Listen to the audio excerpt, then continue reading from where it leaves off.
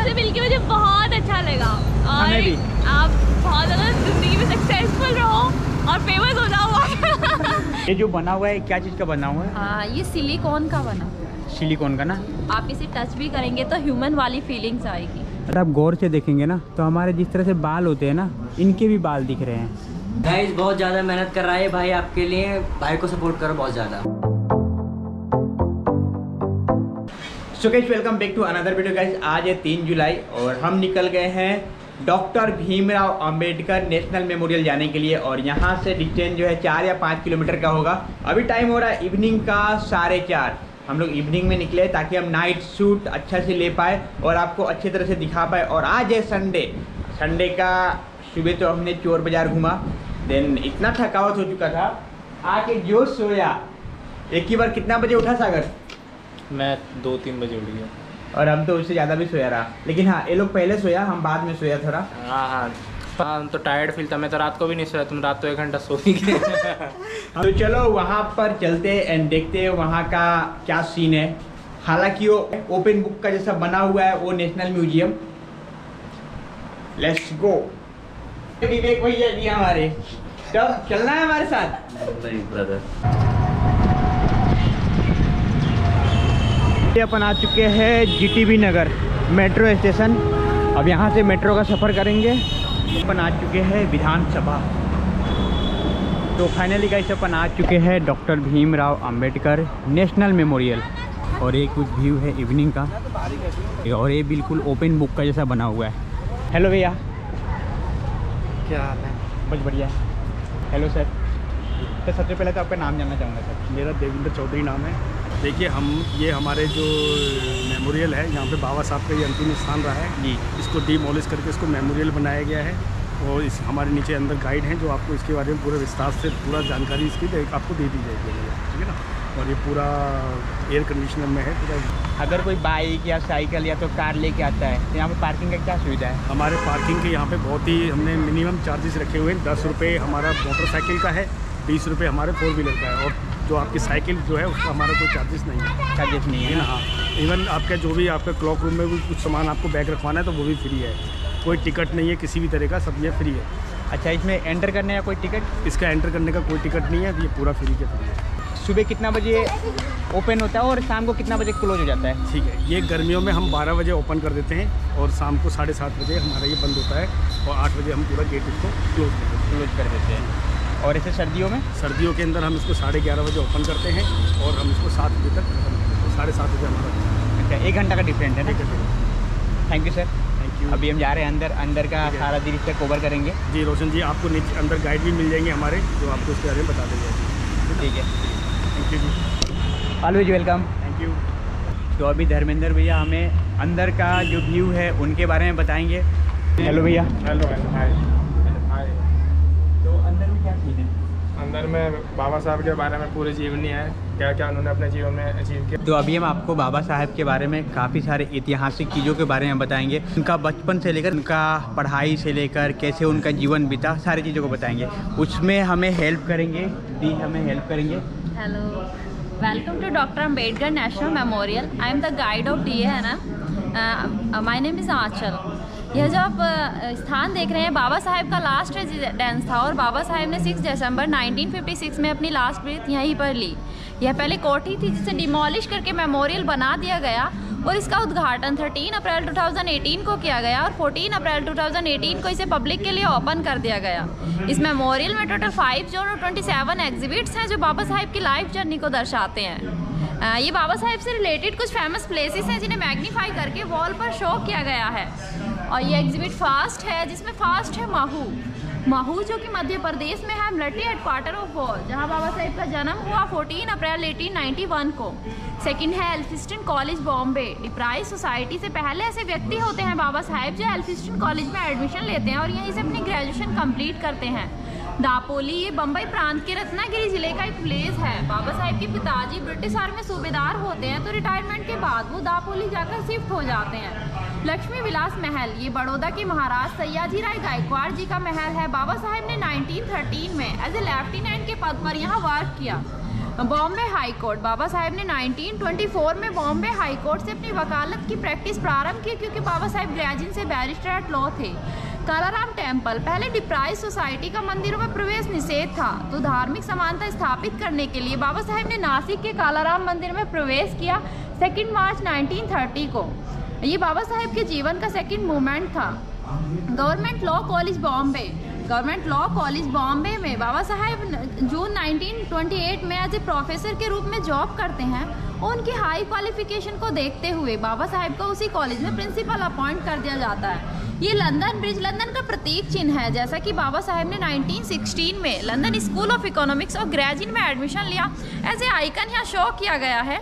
ये exhibit second है modern India पहले समाज में काफ़ी बुराइयाँ थी काफ़ी क्रूतियाँ थी तो आधुनिक भारत में बाबा साहेब का काफ़ी कॉन्ट्रीब्यूशन रहा है जो फाइव फेसिट्स में यहाँ दिखाया गया है जो तो महिलाओं को लेकर ना। जी जिसमें फास्ट है वोटिंग का अधिकार। जैसा कि पहले सभी को वोट देने का अधिकार नहीं था। कुछ सामंत, पूंजीपति और टैक्स पेयर लोग भी वोट किया करते थे। यहाँ तक कि फीमेल्स का वोट भी उनके हस्बैंड डाल दिया करते थे। बाबा साहेब ने कहा, ये गलत है और Baba Saheb one vote one value की पॉलिसी लेकर आए, जिससे कि आज हम सभी वोट करते हैं और एवरी ईयर 25 जनवरी को मतदाता दिवस के रूप में सेलिब्रेट भी करते हैं। ये हमारे इंडियन कॉन्स्टिट्यूशन की प्रियम्बल है, जो एक तरह से हमारे भारत का आईना है। ये फास्ट रिपब्लिक डे की फ़ोटो है जो राष्ट्रपति होते वो रथ और बग्गियों में बैठ के कुछ इस तरह आया करते थे। नाउ मॉडर्न इंडिया में हम इस तरह रिपब्लिक डे सेलिब्रेट करते हैं। तो महिला 1950 का जी 1950 या ये महिला शिक्षा पहले महिलाओं को पढ़ने का अधिकार नहीं था तो सभी को एक समान दायरे में लाने के लिए समानता स्थापित करने के लिए। बाबा साहेब ने महिलाओं की शिक्षा पर बहुत अधिक बल दिया। ये फैक्ट्री एक्ट है जब ब्रिटिश काउंसिल में 1942 से 1946 के बीच बाबा साहेब लेबर मिनिस्टर होते हैं तो फैक्ट्री एक्ट लेकर आते हैं। पहले क्या था? हर जगह 14-14 घंटे काम करने का कंसेप्ट था। बाबा साहेब ने 14 से घटाकर 8 घंटे किया और आज आप देखेंगे हर जगह 8 घंटे काम करने का कंसेप्ट है, जो कि बाबा साहेब की दी हुई देन है। उसी टाइम पे बाबा साहेब महिलाओं के लिए मैटरनिटी लीव एक्ट और बहुत सारे प्रावधान लेकर आते हैं। ये मॉडर्न इंडिया में फीमेल्स की कंडीशन को यहाँ हमने दर्शाया है कि आज महिलाएँ हर क्षेत्र में अग्रसर हैं। एक ग्राम प्रधान से लेकर राष्ट्रपति पद तक महिलाएँ पहुँच चुकी हैं और एक क्लर्क से लेकर आईएएस आईपीएस ऑफिसर तक महिलाएँ हैं। चाहे गवर्नमेंट सेक्टर प्राइवेट सेक्टर हर क्षेत्र में महिलाएँ अग्रणी हैं। ये होलो बॉक्स है जिसमें बाबा साहेब की कुछ ओरिजिनल फ़ोटोज़ हैं। कुछ लंदन की हैं, कुछ राजगृह की हैं, कुछ कॉन्स्टिट्यूट असेंबली की हैं, जिसे प्रेजेंट में सेंट्रल हॉल कहा जाता है। ये एग्जिबिट थर्ड है चाइल्डहुड बाबा साहेब का बचपन। जैसे कि बाबा साहेब अपने माता पिता की चौदहवीं और अंतिम संतान होते हैं। बाबा साहेब के पिताजी ब्रिटिश आर्मी में सूबेदार होते हैं तो इनके पिताजी की सिफारिश से बाबा से बाबा साहेब का स्कूल में एडमिशन तो हो जाता है लेकिन बाबा साहेब को क्लासरूम के अंदर बैठने की परमिशन नहीं होती। बाबा साहेब क्लासरूम के बाहर बैठकर पढ़ाई करते हैं। और आप देख सकते हैं जहाँ वो जूते चप्पल होते हैं वहाँ पर बैठ हाँ के। पढ़ाई अगर किसी दिन स्कूल का चपरासी छुट्टी पर होता तो बाबा साहेब को पूरे दिन स्कूल में प्यासा ही रहना पड़ता था। और आप देख सकते हैं बाबा साहेब को पढ़ाई में कितनी रुचि थी। अगर किसी दिन स्कूल का चपरासी छुट्टी पर होता तो बाबा साहेब को पूरे दिन स्कूल में प्यासा रहना पड़ता। और बाबा साहेब ने कभी ये डिमांड नहीं की कि उनके पास अच्छा बैग होना चाहिए अच्छे जूते होने चाहिए। बाबा साहेब हर सिचुएशन में उन्हें जब जहाँ जैसे टाइम मिलता स्ट्रीट लाइट के नीचे बैठ के चबूतरे पे बैठ के सीढ़ियों पे बैठ के बचपन में भी आठ से दस दस घंटे पढ़ाई किया करते थे। बाबा साहेब ने 1907 में हाई स्कूल किया 1909 में इंटर किया और 1912 में अपनी ग्रेजुएशन कंप्लीट की BA in political science and economics में। उसी दौरान बाबा साहेब के पिताजी रामजी मौलजी सकपाल जी का निधन हो जाता है 2 फरवरी 1913 को। तो इनके एक टीचर होते हैं, दादा अर्जुन कैलुस्कर। वो बाबा साहेब की सिफारिश बड़ौदा के महाराज सयाजी राय गायकवाड़ जी से करते हैं। कहते हैं, ये बच्चा पढ़ना चाहता है, आगे कुछ करना चाहता है, इसकी आर्थिक सहायता कीजिए। बड़ौदा के महाराज तैयार हो जाते हैं और बाबा साहेब को स्कॉलरशिप देते हैं 11.50 पाउंड की। जो आज की हम इंडियन करेंसी में कन्वर्ट करेंगे तो अप्रोक्स वन लाख रुपीज़ जो बाबा साहेब को उस टाइम पे स्कॉलरशिप मिला करती थी। बाबा साहेब स्कॉलरशिप लेते हैं और लंदन जाते हैं। बाबा साहेब नाइनटीन 1916 में लंदन स्कूल ऑफ़ इकोनॉमिक्स में एडमिशन लेते हैं। डॉक्टर ऑफ़ साइंस के लिए और ग्रेजुएट में एडमिशन लेते हैं बैरिस्टर एट लॉ के लिए। लेकिन उसी दौरान फ़र्स्ट वर्ल्ड वॉर के कारण बाबा साहेब की स्कॉलरशिप डिसकंटिन्यू हो जाती है और बाबा साहेब को इंडिया वापस आना पड़ता है। ये बड़ौदा के महाराज सयाजी राय गायकवाड़ जी हैं जो बाबा साहेब को स्कॉलरशिप देते हैं। इनका और बाबा साहेब के बीच एक एग्रीमेंट होता है कि स्कॉलरशिप के बदले जब बाबा साहेब की अपनी पढ़ाई कंप्लीट करके इंडिया वापस आएँगे तो बाबा साहेब को इनकी रियासत में टेन ईयर्स की सर्विस देनी होगी। बाबा साहेब इंडिया वापस आते हैं और बड़ौदा रियासत में मिलिट्री अकाउंट ऑफ़िस में सैन्य सचिव के पद पर as a PCS officer job करते हैं। आप देखेंगे तो बाबा साहेब के साथ यहाँ भी बहुत ज़्यादा भेदभाव किया जाता है। बाबा साहेब फ़ाइल मांगते हैं तो उन्हें फ़ाइल फेंक कर दी जाती है। पीने के लिए पानी मांगते हैं तो उन्हें पानी नहीं दिया जाता। क्यों? क्योंकि ऊँची जाति के लोगों का ऐसा मानना था, अगर फ़ाइल देते वक्त बाबा साहेब की परछाई उन पर पड़ गई तो वो भी अपवित्र हो जाएँगे। अगर पानी देते वक्त पानी की छीटें उन पर पड़ गई तो वो भी अपवित्र हो जाएँगे, क्योंकि बाबा साहेब महार जाति से बिलोंग करते थे। बाबा साहेब इसकी शिकायत महाराज से करते हैं। हालाँकि महाराज बाबा साहेब को अपनी रियासत में फाइनेंस मिनिस्टर बनाना चाहते थे। लेकिन जाति प्रथा अपनी चरम सीमा पर होने के कारण, उस टाइम पे ये भी जाति प्रथा के आगे विवश होते हैं और कहते हैं, मैंने आपको इतने ऊँचे पद पर बिठा के पहले ही क्रांति छेड़ दी है, अब मैं कुछ नहीं कर सकता। टेन ईयर्स की एग्रीमेंट होती है, लेकिन इस व्यवहार को देखकर बाबा साहेब ग्यारहवें दिन ही यहाँ से रिजाइन कर देते हैं। ये हमने यहाँ बड़ौदा का दिखाया है। ये पूरा बड़ौदा का ही है ना? और ये पारसी धर्मशाला है। जब बाबा साहेब को रहने के लिए कहीं घर नहीं मिलता तो वो अपना नाम बदल कर रहते हैं पारसी धर्मशाला में। और जब कुछ पारसी लोगों को पता चल जाता है कि Baba Saheb does not belong to Parsi caste Baba Saheb Mahar जाति से बिलोंग करते हैं तो बाबा साहेब को यहाँ से भी निकाल दिया जाता है। ये एग्जिबिट एट है, जो बाबा साहेब की राइटिंग एंड स्पीच का मैनुअल है।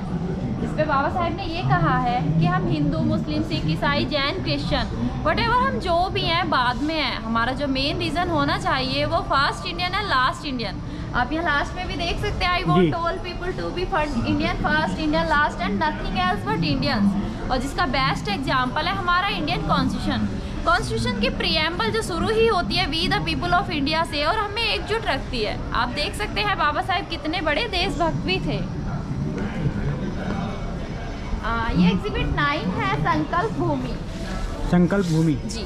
आ, जब बड़ौदा से रिज़ाइन करने के बाद बाबा साहेब बड़ौदा रेलवे स्टेशन पर पहुँचते हैं अपने होम टाउन मुंबई वापस जाने के लिए तो बाबा साहेब की ट्रेन कुछ घंटे डिले होती है।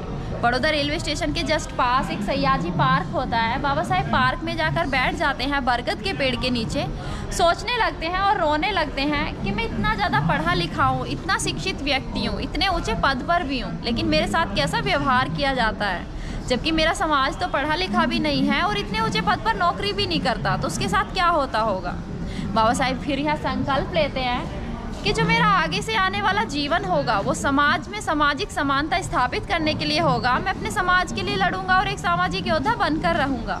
आप देखेंगे तो बाबा साहेब की लाइफ का टर्निंग पॉइंट भी यहीं से शुरू होता है the making of doctor B R Ambedkar इसे संकल्प भूमि कहा गया है जो कि बड़ौदा में है।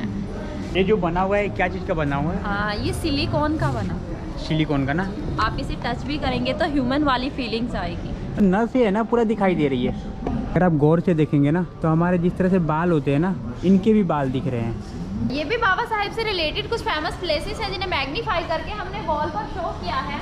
और ये एग्जिबिट 11 है, जिसमें फ़र्स्ट है साइमन कमीशन जब 1928 में साइमन कमीशन इंडिया आया तो सभी ने इसका विरोध किया। लेकिन बाबा साहेब साइमन कमीशन के समर्थन में थे।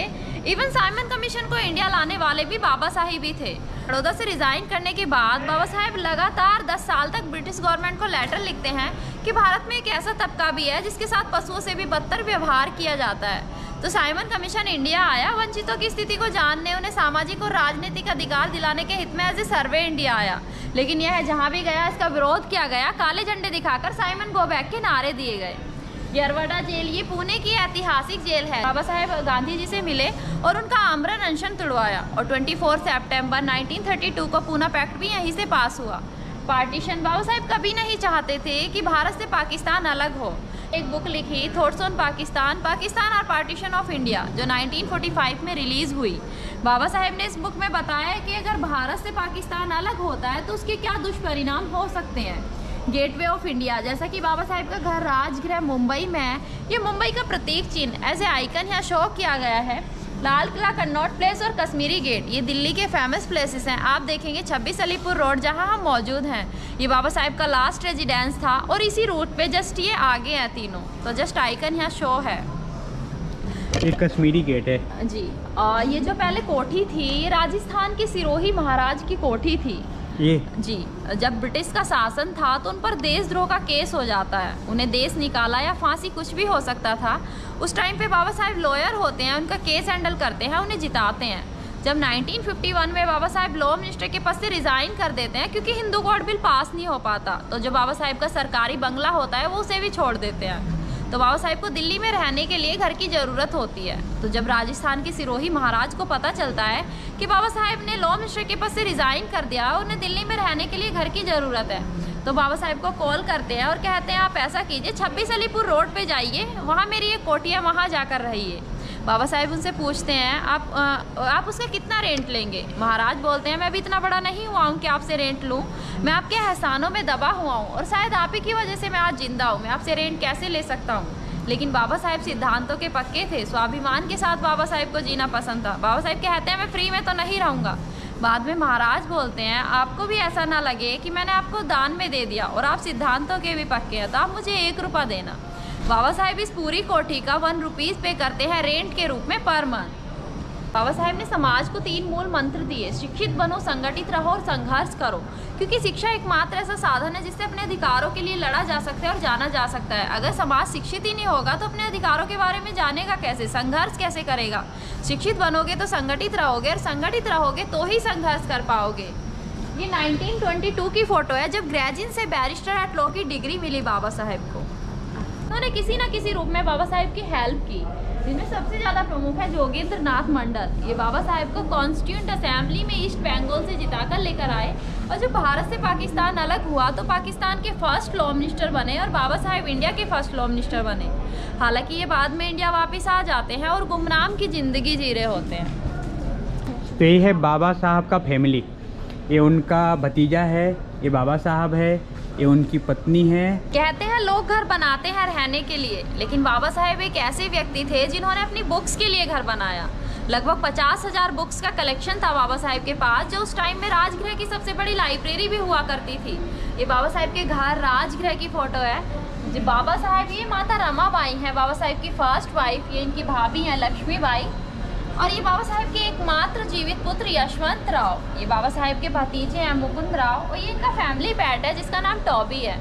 और बाबा साहेब के अंदर एक एडिशनल क्वालिटी भी थी कि बाबा साहेब को फोटोग्राफी और गार्डनिंग का काफ़ी शौक था। ये बाबा साहेब के फैमिली मेंबर्स राजगृह उनके घर की फ़ोटो है, जो कि बाबा साहेब के हाथों के द्वारा ही क्लिक की गई फ़ोटो है। हम बाबा साहेब को बाबा साहेब क्यों कहते हैं? ये त्याग और बलिदान की मूर्ति माता रमाबाई हैं, ये इनका पार्थिव शरीर है। डेड बॉडी है ये इनकी। त्याग मूर्ति मैंने इसलिए कहा क्योंकि इन्होंने सब कुछ त्याग दिया था बाबा साहेब को बनाने के लिए। ये दूसरों के घर पे कंडे पाती हैं, बर्तन साफ़ करती हैं वो कलेक्शन करके बाबा साहेब को भेजती हैं पढ़ाई के लिए। खुद का ध्यान नहीं रख पाती और कुपोषण की शिकार हो जाती हैं। हालाँकि बाबा साहेब इन्हें बचाने की बहुत कोशिश करते हैं लेकिन बचा नहीं पाते और 27 मई 1935 को इनका निधन हो जाता है और बाबा साहेब बहुत ज़्यादा दुखी होकर लगभग डिप्रेशन की स्थिति में आ जाते हैं और लगभग वन मंथ के लिए अपने आप को एक रूम में आइसोलेट कर लेते हैं। बाबा साहेब की स्किन डिसीज हो जाती है तो डॉक्टर उन्हें कुछ ढीले ढाले कपड़े पहनने के लिए सजेस्ट करते हैं। तो इस तरह के कपड़े पहन लेते हैं? हाँ जी जी। जब लगभग वन मंथ बाद रूम से बाहर निकल कर आते हैं तो कुछ इस रूप में होते हैं। जो बाबा साहेब के फॉलोअर्स होते हैं, वो उन्हें इस रूप में देखकर बाबा बाबा कह के बुलाने लगते हैं। और जैसा कि मराठी में वाइफ जो होती है, अपने हस्बैंड को साहेब बुलाती हैं। माता रमा बाई भी बाबा साहेब को साहेब बुलाया करती थी। तो जस्ट उसी को रिलेट करके बाबा और साहेब डॉक्टर इसलिए he was the P holder doctor Baba Saheb. ये ट्वेल्व मल्टी फेसिट्स हैं, जिसमें फ़र्स्ट है, ये नॉलेज सी का पार एक्सीलेंस ज्ञान के उत्कृष्ट साधक थे बाबा साहेब। 64 सब्जेक्ट्स में मास्टर्स थे 32 डिग्रियाँ थी, जिनमें फोर डिग्रियाँ केवल इकोनॉमिक्स में थी। नौ भाषाओं के ज्ञाता थे। ये बाबा साहेब के कुछ सब्जेक्ट लिस्ट है। और ये एल्फिस्टिन कॉलेज की अटेंडेंस लिस्ट है, जिसमें आप देखेंगे थर्ड नंबर पर बाबा साहेब का नाम है।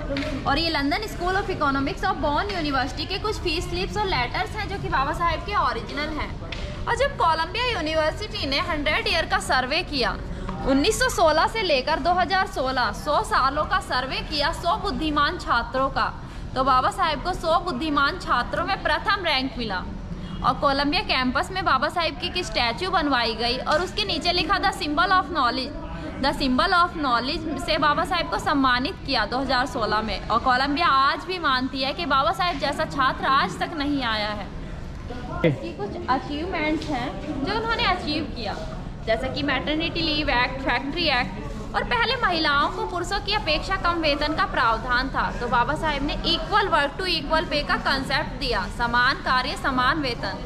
और उस टाइम पे बाबा साहेब के पास एक एडिशनल चार्ज भी था वाटर कंजर्वेशन का। तो बाबा साहेब ट्रेड यूनियन में सुधार करते हैं और बहुत सारे कंसेप्ट देते हैं। दामोदर नदी घाटी परियोजना, भाखड़ा नागर परियोजना, हीराकुंड परियोजना, कृष्णा नदी परियोजना। और ये है भारत का संविधान पर हस्ताक्षर करते हुए मतलब साइन करते हुए। ये है बाबा साहब का रोबो पुतला, जो कि अमेरिका से मंगाया गया और और इसका कीमत एक करोड़ है। और ये बिल्कुल जो है रियल जैसा लग रहा है।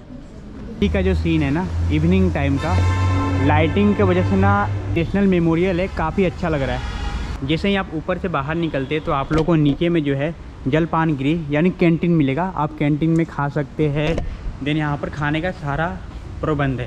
अभी हम कैंटीन में आए कैंटीन में हमने कॉफ़ी लिया। देन भैया और हम साथ में कॉफ़ी पी रहे हैं। अभी हो चुका है क्लोज अंदर में ना बाबा साहब के बारे में काफ़ी ऐतिहासिक बातें छिपी हुई है जो हम भी नहीं जानते थे।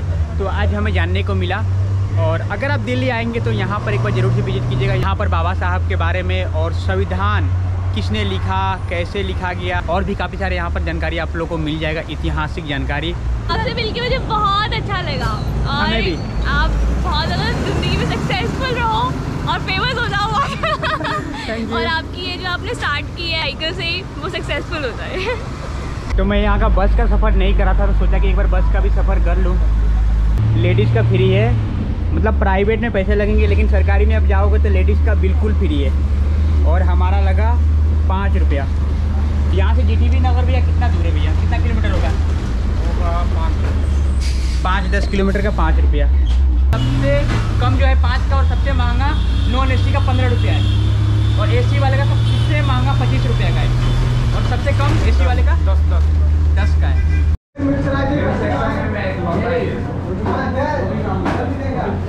तो अब हम डिनर करके निकल चुके हैं और रात का हो रहा है नौ बीस। तो हमने अभी लिमका लिया दो मज़ा लिया एक इनो और एक बिस्कुट। मत ठीक है अंकल जाते हैं। Okay bye bye bye bye रात का हो रहा है साढ़े नौ और हमने ले लिया मज़ा। अभी मज़ा पीते पीते जाएँगे आराम से अपने रूम पे। वहाँ से निकले तो हम इनको धन्यवाद बोलना भूल गए। हमारे लिए इन्होंने काफ़ी कष्ट किए हमारे लिए। गाइस बहुत ज़्यादा मेहनत कर रहा है भाई आपके लिए। भाई को सपोर्ट करो बहुत ज़्यादा। ऑलवेज सपोर्ट और भैया के अभी एक लाख समथिंग सब्सक्राइबर हैं। हम चाहते हैं कि जल्दी ही भैया उन यूट्यूबर्स में गिने जाएँ जो इंडिया के टॉप टेन यूट्यूबर्स हों। थैंक यू भैया। हमें भी बहुत अच्छा लगा भैया आपसे मिलके सच में। थैंक यू सो मच आपके लिए भी। तो गाइस इस वीडियो को यहीं पर एंड करते हैं। आशा करता हूँ कि आज का वीडियो आप लोगों को काफ़ी ज़्यादा पसंद आया होगा। कीप सपोर्टिंग थैंक यू मिलते हैं नेक्स्ट ब्लॉग में। कुछ खास ब्लॉग लेकर तब तक के लिए जय हिंद बंदे मातरम।